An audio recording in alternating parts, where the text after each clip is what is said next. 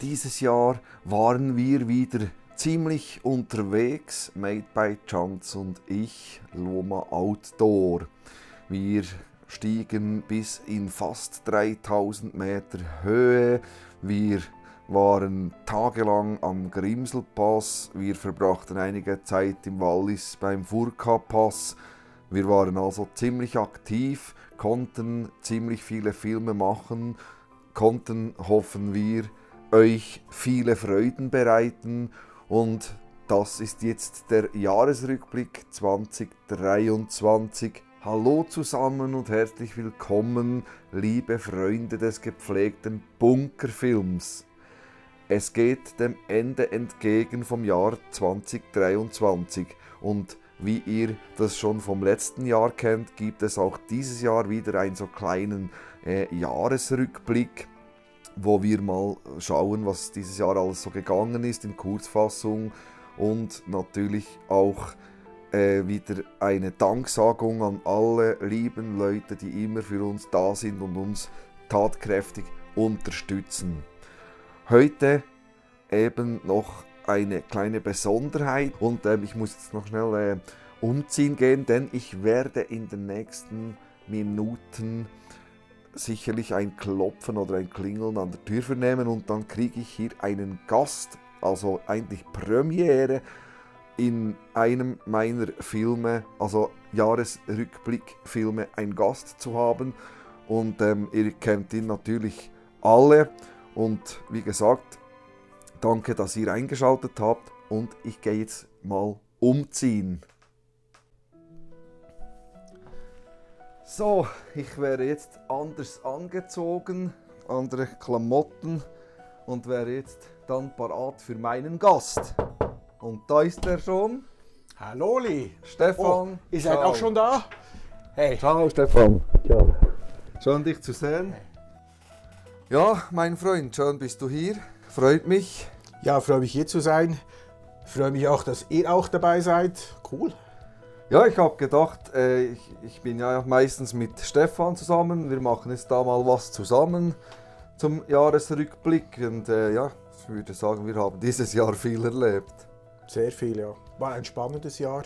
Ich finde auch erfolgreiches Jahr. Ja, sehr. So. Wenn ich denke an unsere Riesenwanderungen, die wir da gemacht haben und Erlebnisse, die wir teilen durften.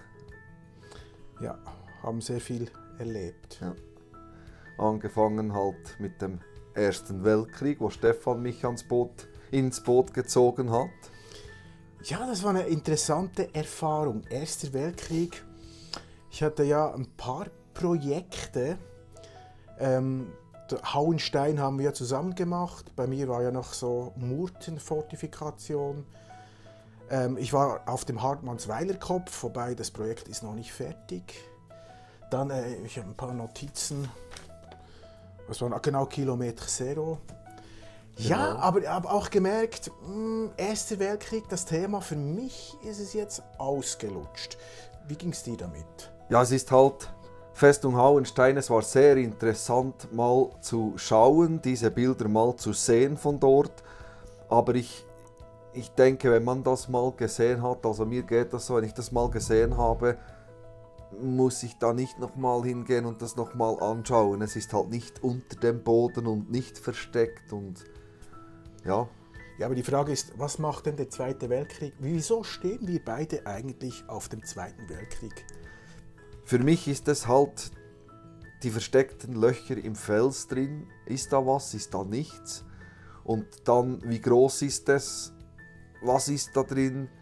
Und hier bei Festung Hauenstein sind einfach Schützengräben und ein paar Räumlichkeiten mit Schießscharten und das war's. Ja. Außer da im einen Stollen, wo es die Treppe so lange runterging, aber ja, da genau war dann auch nur ein Raum. Ja. Ich finde auch, auch das Technische finde ich halt viel interessanter.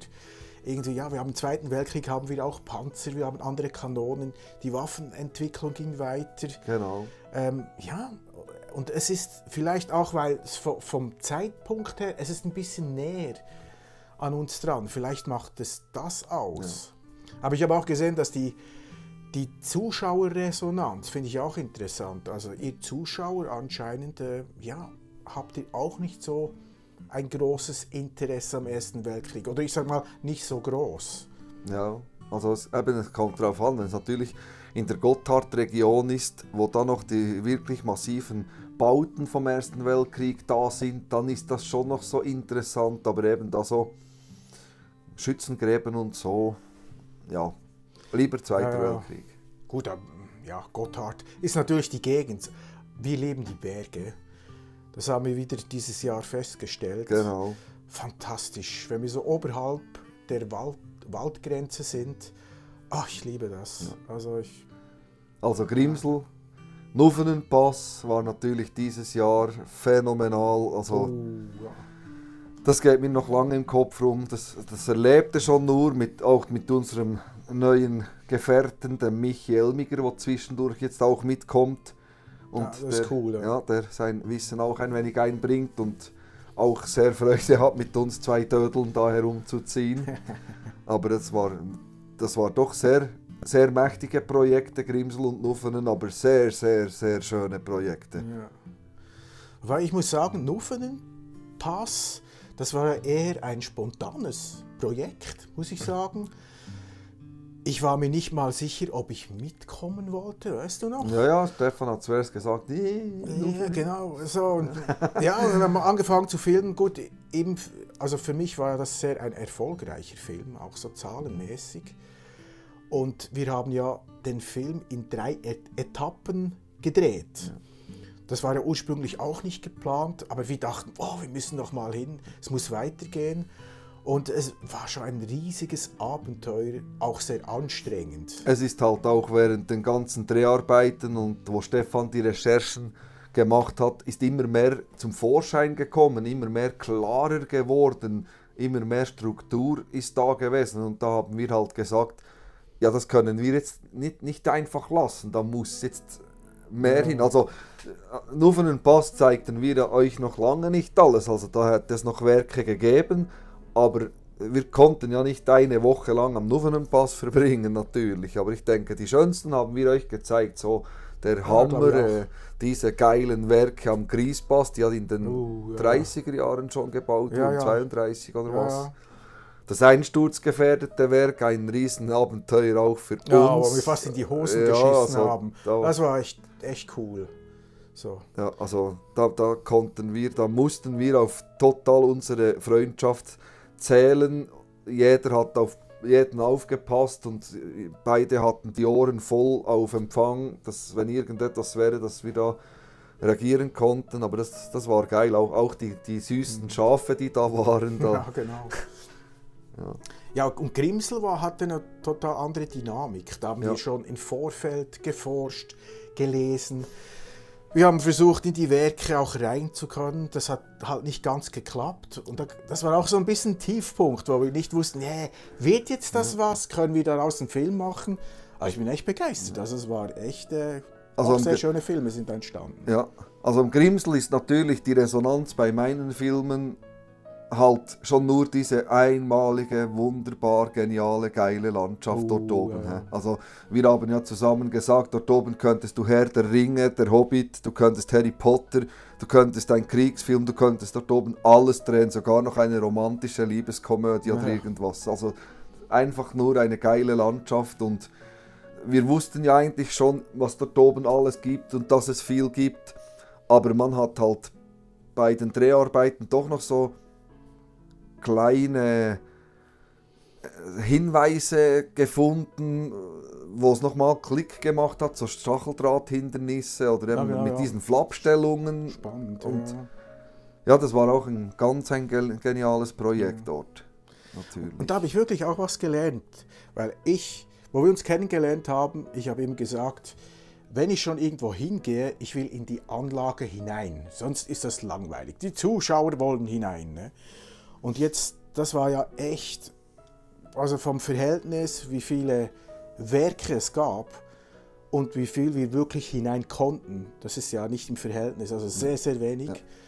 Aber ich war am Schluss total begeistert. Also das hat mir total gefallen und auch die Filme. Ja, wir konnten trotzdem eine nette Geschichte erzählen. Ja, das ist so, ja. Nein, das ist, das war genial. auch sonst haben wir noch viele interessante Sachen gemacht. Und haben auch noch viele interessante Sachen auf dem Radar für nächstes Jahr natürlich. So viel Mhm. können wir, glaube ich, verraten. Ja, willst du schon was verraten? Ja, ich weiß nicht, ob wir das sollen. Wollen wir was sagen? So zum Beispiel Alakwa. Ich weiß, Alakwa Uh, sagt ja. jetzt nicht jedem etwas, aber vielleicht sagt nachher Mussolini, San Giacomo Pass, Eisenbahnwagen etwas. Genau, an der italienischen Grenze, Genau, so ein bisschen südlicher. genau. Gut, wir können kein Italienisch. Ja, ist das Problem. Hä? Ja. Und natürlich, äh, ich habe ja schon was verraten in meinem Sondagefilm und äh, ich habe es wieder mal geschafft. Der Sondagefilm hat bei Stefan zu diesem auch halb italienischen Pass auch sehr ein großes Feuer entfacht und zwar dem Simplon Pass. Ja, da habe ich eindeutig Feuer gefangen. Zuerst so, es ist komisch, ich, ich habe immer das Gefühl, das ist doch immer dasselbe. Nein, es ist nicht dasselbe. Nein. Und jetzt habe ich ein bisschen Nachforschung gemacht, auch über die Geschichte. Gut, du hast schon sehr viel Vorarbeit geleistet. Oh, ich freue mich. Also ich, ich habe Feuer gefangen, ich freue mich total. Da gibt es noch was. Ich habe ja schon versucht, dich zu überreden, dass wir im Winter schon mal ein bisschen hinreisen, aber ja, wir haben entschlossen, nein, das müssen wir im, im Sommer machen, definitiv. Schon nur landschaftshalber halt. Ja, das sind so Sachen, wo noch auf dem Plan stehen. Aber eben nochmal zurück, was haben wir sonst dieses Jahr noch so gemacht? Ja, Stefan, klar, bei unseren Freunden im Graubünden waren wir doch bei den Stalusianern, Festung Stalusa. Fantastisch. Das war ja auch mega geil. Wir durften dort sowas von knallen und schießen mit der Panzerwehrkanone, das war ja geil. Hat mich sogar beim Dreh noch verletzt, mein Knie aufgerissen. Das sieht man im Film, dort wo es mich auf die Fresse haut, wo wir flüchten müssen. Genau. Wir durften sogar eine Kapelle niederschießen. Genau. Nein, ich bin froh, das haben alle begriffen im Film. Ja, ähm, das ist ja auch lustig. Unser Humor, wo wir haben, der schmeckt nicht allen. Aber das ist uns egal, weil Das ist uns egal. wir ja. machen ja da wo, das, wo wir Freude daran haben und manchmal haben wir so Scheiße im Kopf und machen das einfach. Aber ist, glaube ich, nicht so schlecht gekommen. Also war cool, wir hatten in diesem Diss hatten wir echt viel Narrenfreiheit. Genau. Wir konnten alles anfassen, konnten überall rein, konnten unsere Geschichte erzählen. Also Es war echt cool, Ja. echt cool. Und auch so ein weites Spektrum am Zeitraum. Genau, ja. Oder so ähm, Zweiter Weltkrieg, die ganzen Entwicklungen, waffentechnisch, aber auch Kalter Krieg hinein. Das war schon toll, war eine Ja. Zeitreise. Schon nur das Privileg mit diesem Festungsminenwerfer, das war natürlich auch genial. Ja. Super Sache. Ja, und auch das Übernachten, Ja, das macht uns schon Spaß in diesen Anlagen. das machen wir sehr gerne. Also wir sind sehr offen für so Einladungen. Hä? Ja, also wenn jemand sagt, wir möchten diese zweimal in unserer Anlage übernachten lassen, wir kommen sehr gerne. Und es würde natürlich auch ein, als Nebenprodukt würde ja noch ein Film entstehen. Genau. Ja, und dann natürlich äh, das komplette Gegenteil von Hochalpin zu Tiefland, wo wir doch bei unseren Freunden bei der Sperre Kleinlützel waren. Das war natürlich auch Gastfreundschaft pur, was wir da erleben durften und, und auch halt nicht riesen Anlagen, aber so etwas von gepflegt und schön, also traumhaft. Es hat auch Spaß gemacht. Falls Sie jetzt ein Fragezeichen vor dem Kopf haben, der Film ist noch nicht draußen. Der Also- kommt noch erst. Der kommt noch erst. Aber es war auch so ein Highlight. Wir haben auch wahnsinnig nette Gastgeber. Ja, sehr. Hat uns sehr überwältigt. Ist natürlich auch schön, wenn wir merken, wir werden irgendwo eingeladen und die Leute freuen sich über den Film, freuen sich über das, was wir machen, kennen uns auch durch die Ja. Filme. Das macht echt viel aus. Das ist so. Und eben, mich dünkt immer das Schöne daran, es zeigt mir persönlich, dass das nicht umsonst ist, was wir machen, dass das eben doch auch geschätzt wird und die Nachfrage da ist danach. Das ist für mich eigentlich noch ein schöner Effekt dabei, ja. Ja, und wenn wir bei dem Thema sind, also was mich, mich auch sehr berührt, sind so die Kommentare. äh, wo uns ja Leute schreiben. Ähm, ist auch lustig jetzt auf meinem Kanal, da reden uns ja die Leute, die reden uns an, nicht einfach nur mich. So, das finde ich schön, wir werden wahrgenommen als Team mhm. und auch so die Wertschätzung finde ich echt schön. Es gibt schon diese Nörgler, äh, die zwischendurch au auftauchen, aber wirklich sehr selten. Also muss ich echt sagen, das finde ich echt schön. Ja, also ich hatte letztens einen Kommentar darin und da habe ich halt als Antwort geschrieben, es ist ja zum Glück niemand gezwungen, unsere Filme anzuschauen. Es ist so, es ist immer Ansichtssache und wir respektieren das auch, solange das mit Anstand und Respekt äh, mitgeteilt wird, habe ich da kein Problem damit persönlich. Und es kann ja nicht nur alles negativ, äh, positiv sein, wollte ich sagen. Ich lese auch diese Kommentare, aber äh, mehrheitlich sind sie also wirklich berührend schön. Also wie das geschätzt wird, da, da danke ich jetzt mal auch euch, unserem Publikum, dass ihr das so schaut und so Freude daran habt. Also das ist für uns, darf ich glaube ich sagen, schon ein Riesenlohn. Dass, dass, dass das so, wenn ich denke, ich habe über 2000 Abonnenten und wenn ich mir vorstelle, dass diese 2000 Menschen auf einem Platz stehen und alle mir zusehen bei diesem Film, das ist für mich ein riesengroßes Dankeschön wert, auch an euch, meine lieben Zuschauer und Bunkerfreunde. Also ich, ich sage es jetzt original, denn dieser Satz ist irgendwie, hat sich der eingeschlichen und hat eine große Beliebtheit erlangt. Liebe Freunde des gepflegten Bunkerfilms, ich danke euch. Und äh, was vielleicht auch noch wichtig ist mal zu sagen, ähm, ich habe gerade die letzte in einem Kommentar, äh, habe mich immer gefragt, ja, wie, wie, finanziert ihr das? Ja, das und, ist eine gute äh, Frage. Oder? Und ähm, ja, wir sind beide beruflich voll tätig ähm, und diese Filmerei, das ist wirklich Freizeit. Nur Hobby. Das ist nur Hobby und was wir halt gemacht haben, ist die Monetarisierung, YouTube. Ähm, da dürft ihr euch darüber nicht ärgern. Ähm, es halt vorher und nach unseren Filmen läuft halt Werbung und ja, wir erlauben uns das so zu machen, weil wir finden, okay, zumindest das Benzingeld wird so bezahlt. Genau. Und ich war jetzt auch so frech, ähm, also ich hoffe, ihr ärgert euch nicht darüber, dass halt zwischendurch auch mal so eine Werbung hineinfliegt. Aber ich finde es okay, unsere Reisen, die, werden, die gehen, wir werden, ja, es ist lustig, wir gehen immer wie weiter, ja. weil wir haben ja unser Gebiet alles abgegrast. Das ist so. Und äh, ja, das sind ziemliche Reisen und nächstes Jahr haben wir auch geplant, dass wir halt auch mal in einem Hotel übernachten müssen. Ja, wenn eben, wir schätzen das halt sehr, wenn uns vom Verein her wie in Kleinlützel schon äh, etwas gesponsert wird zum Übernachten oder wie in Stalusa in der Festung aber äh, wenn wir natürlich irgendwo sind und dort zwei Tage machen müssen, müssen wir das eben selber bezahlen. Und äh, darum, ich, ich hoffe auch, dass ihr nicht zu sehr verärgert seid über ein bisschen Werbung jetzt, wo kommt bei unseren Filmen. Ich kann das mal sagen, ich bin vollberuflich Radladerfahrer, Baumaschinenführer im Kieswerk Fanger in Giswil. Also ich bin von Montag bis Freitag Radladerfahrer und versorge dort das Kieswerk und das Betonwerk. Ja, und ich bin Altenpfleger, lebe da auch in einer ganz anderen Welt. Genau. Und eben dann müssen wir äh, halt unsere Freizeit, Ferien und so opfern. Oder ja, opfern, das ist kein Opfer, wir machen das ja gerne. Ja, aber, wir lieben das. Ja. Genau, das aber das ist halt so, wenn wir gehen und in diesem Punkt möchte ich äh, meiner Firma, der Holzim AG Schweiz, ein sehr großes Dankeschön entgegenbringen, auch für die Geduld, die Sie mit mir haben, wenn ich manchmal ein wenig übermüdet zurückkehre vom Wochenende.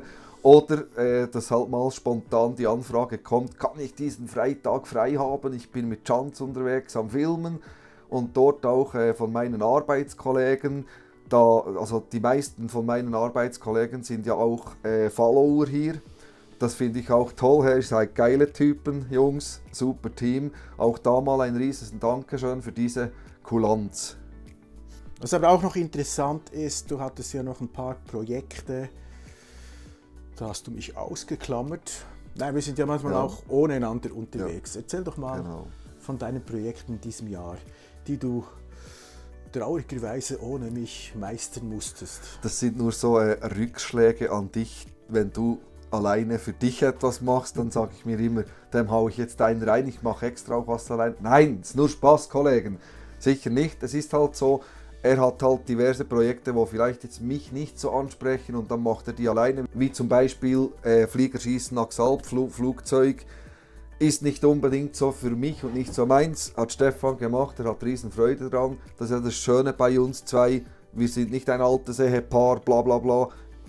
Wir haben uns auch äh, sonst gern, auch wenn er eine Sache für sich macht und ich.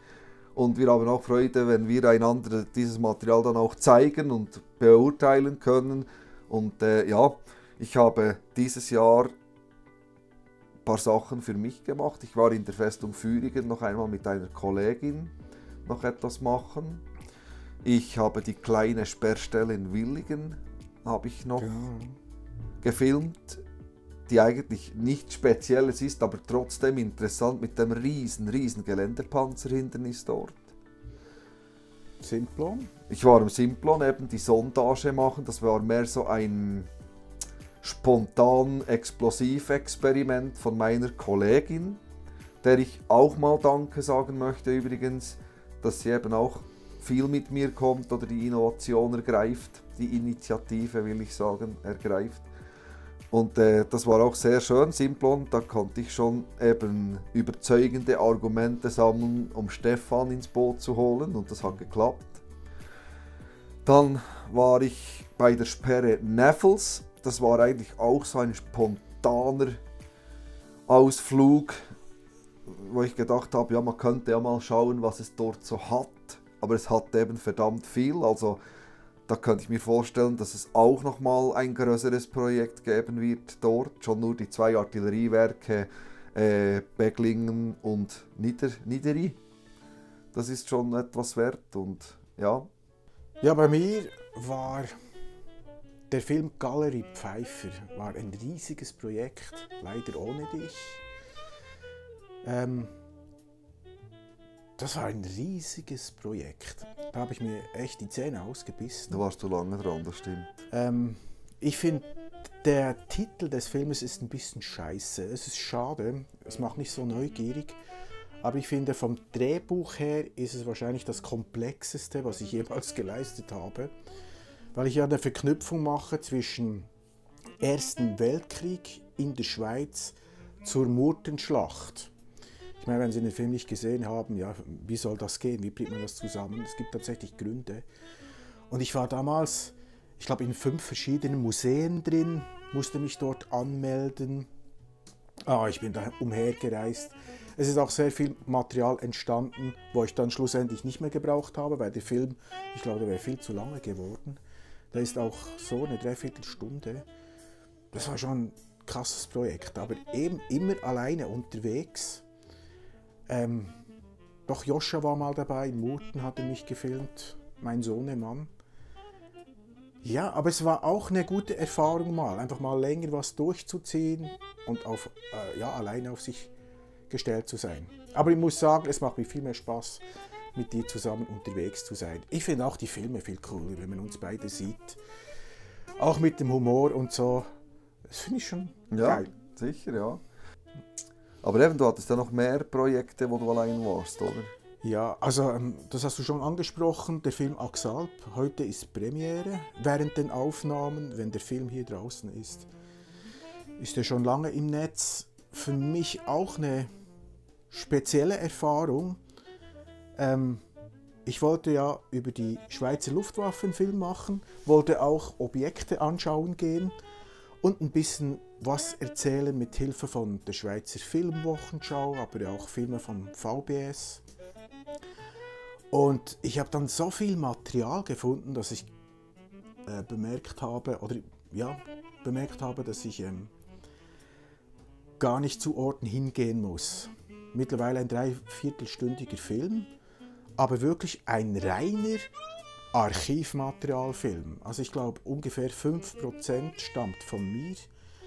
Der Rest ist alles geklaut. Gut, Urheber, Urheberrechte sind geklärt natürlich. Aber es sind immerhin 52 Filme, die ich da verarbeitet habe. auch eine interessante Erfahrung, wo ich gemerkt habe, das macht mir wirklich Spaß. Also ich mag das, dieses alte Archivzeugs, diese Schwarz-Weiß-Filme, um so ein bisschen ähm, der Zeit von damals näher zu kommen. Ich glaube, das ist etwas, da hättest du nicht Spaß daran. Nein, eben auch sonst so Flugplatz, Hangar und so, das ist jetzt was, das mich halt wirklich nicht so interessiert. Aber du, ja, du bist ein richtiger Patriot. Du Ja, liebst die Schweiz. Bleibe hier. Du brauchst nicht mehr. Aber ja, es ist so, die Schweiz, die hat so viel, so viel Zeugs noch. Ich weiß gar nicht, wie viel Prozent wir jetzt mal erreicht haben mit Hilfe vom Film. Ich weiß nicht, hast du eine Zahl? Ich habe keine Vorstellung. Sind's Also ich, ich meine, ich habe auf meinen Archivplatten um die 400 Filme, aber im YouTube natürlich längst nicht alles, weil da auch nicht alles rauf darf. Aber äh, wenn man denkt, dass wir schon nur äh, reine Infanteriewerke, Infanteriebunker, Artilleriebunker um die 34.000, 35.000 Stück gehabt haben in der Schweiz, haben wir noch etliches zu tun. Artilleriewerke, da wären wir ja schneller mal durch, da waren es 74 Stück. Und wir hatten ja zwischen 2.000 und 3.000 äh, Straßensperren, Bahnsperren, Geländepanzerhindernisse. Also wir haben noch ein wenig Arbeit äh, vor uns, denke ich, bis wir alles gesehen haben und vor allem gefunden haben. Ja, da kommt noch einiges an Arbeit auf uns zu. Und wir sind auch immer ermutigt, auch weiterzumachen. Einfach auch dank Ihnen, dank Ihrer Reaktion darauf. So, ähm, wir werden auch immer wieder inspiriert. Es gibt Leute, die schreiben uns manchmal auch, ja, geht doch dorthin und so. Also, ja, unsere Arbeit wird da nicht ausgehen. Genau. Ja, wie gesagt, wir haben ja viel erlebt. Wir haben euch jetzt da ein paar Sachen erzählt. Und äh, ja, nochmal zum Sagen, um diese Frage mal eindeutig zu klären. Nein, wir werden nirgends unterstützt und kriegen von nirgendwo irgendwelche Finanzen oder etwas so. Das ist alles äh, selbst zahlend, was wir da, also selbst zahlend, das finanzieren wir alles selbst aus unserer Berufstätigkeit. Auch das äh, Equipment selber, die Kameras und alles. Und äh, das können wir vielleicht auch kurz sagen. Wir sind ziemliche DJI-Fanatiker. Wir haben beide eine DJI-Drohne. Äh, wir haben beide das DJI Osmo Pocket. Und es ist auch noch eine DJI Action Cam, Cam im Umlauf, die wir nutzen, damit ihr unser Equipment auch ein bisschen kennt. Aber eben sonst, nein, wir kriegen von nirgendwo irgendwelche Gelder zur Verfügung, um das zu machen. Ist alles eigenständig, machen wir alles selber. Ich habe es gerade gedacht, so DJI erwähnen. Äh, nein, es ist keine Werbung, es ist einfach so. Wir sind auf diese Marke gestoßen und wir sind sehr zufrieden damit. Es ist auch praktisch, alles ist kompakt, klein. Das ist halt für uns sehr wichtig, weil, ja, wenn wir in den Bergen sind oder so, oder auch die, durch diese Tunnel gehen, wir wollen auch nicht viel an Gepäck dabei haben. Ich möchte an dieser Stelle eben allen zusammen ein riesen, riesen Dankeschön sagen für die Unterstützung. Sei es zum Beispiel Festung Oberland, wo wir immer wieder äh, Hilfe bekommen für Recherchearbeiten, Auskünfte. Viel Support. Genau. Wikipedia nutzen wir natürlich auch. Genau, vielen Dank an Herrn Wikipedia. Genau. Und äh, an alle anderen Privatpersonen, unsere Freunde, die uns sonst immer wieder äh, ein paar Leckerlis zuhalten, so mit Infos und Datenblätter und äh, sei es irgendetwas. Ein riesen Dankeschön an diese Leute. Rudolf Schoch inspiriert, inspiriert uns ja auch Genau, ja. stark durch seine Bücher. Genau. Und auch äh, das ZEM, das Bundesarchiv, all diese. Genau. Also DMA heißt ja jetzt. Ähm, Zentrum für digitale Medien der Armee. Wir sind wirklich sehr großzügig. Ähm, ich benutze ja ganz viel Material und das unkompliziert. Also wenn mich jemand hört von diesem Laden, herzlichen Dank. Also ich bin echt glücklich, dass ich das tun darf. Ja, und auch ein Riesendanke eben an diese Vereine, wo wir besuchen durften, für die Toleranz, für das Entgegenkommende, eben wie die Leute von Stalusa, die Leute von Kleinlützel, Führingen, wo ich eben auch war, und Fischpalmen am Thunersee, Merligen, wo ich auch drehen durfte. Genau. Fortifikation Hauenstein will ich auch erwähnen. Ich habe das sehr viel Support erlebt. Vielen Dank. Ja, eben, dass das mal gesagt wird, einfach äh, jedem allen ein riesen Dankeschön für diese eigentliche Unterstützung, die wir da erhalten, für das wir zwei noch x weitere Jahre miteinander unterwegs sein können und euch solche Filme präsentieren können. Und wir würden euch natürlich jetzt auch eine schöne Weihnachten wünschen. Und ein guter Rutsch ins neue Jahr. Genau. Und was uns sehr am Herzen liegt, bleibt gesund und munter, werdet nicht krank und Genau. schaut weiter unsere Filme. Das freut uns natürlich riesengroß, mega, dass wir sehen, dass das nicht für umsonst ist, was wir da machen, dass das einen Sinn hat, dass die Leute Freude haben daran, dann haben auch wir Freude. Also, liebe Freunde des gepflegten Bunkerfilms von Made by Chance und Loma Outdoor, nochmal alles Gute in der festlichen Zeit, genießt es, esst gut, trinkt viel, bleibt gesund und munter, rutscht gut ins neue Jahr, seid nächstes Jahr wieder bei uns dabei, bei unseren Abenteuer. Dann wünschen wir euch alles Gute, Stefan und ich, und bis bald. Lebt wohl. Bis Tschüss bald. zusammen. Tschüss.